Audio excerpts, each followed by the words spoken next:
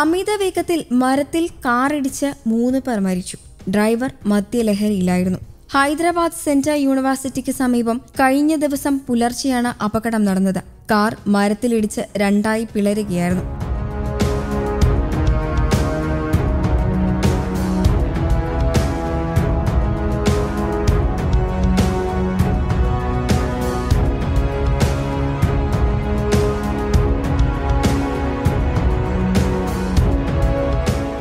Television സീരിയലുകളിൽ junior ആർട്ടിസ്റ്റുകളായി ജോലി ചെയ്യുന്ന മൂന്ന് പേരും ഒരു ബാങ്ക് ജീവനക്കാരനുമായിരുന്നു വാഹനത്തിലുണ്ടായിരുന്നത്.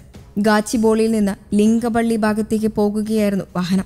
ഇടിയുടെ ആഘാതത്തിൽ വാഹനം ഓടിച്ച അബ്ദുൾ റഹ്മാൻ എൻ മാനസ എന്നീ മൂന്ന് പേർ സംഭവസ്ഥലത്ത് തന്നെ വെച്ച് മരിച്ചു.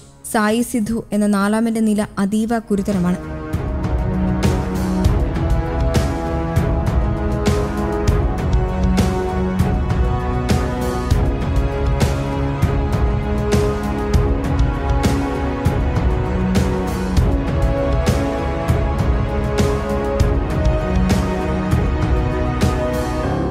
കാർ നൂറ് കിലോമീറ്ററിലധികം വേഗത്തിലായിരുന്നുവെന്ന് പോലീസ് പറയുന്നു.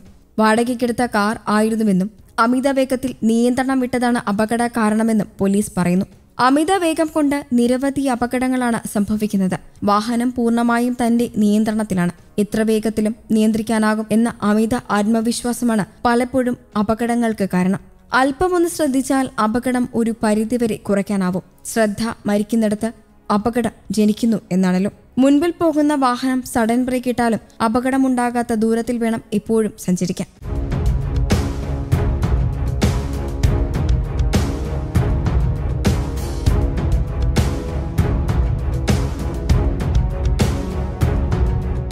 News desk Kerala Kaumudi.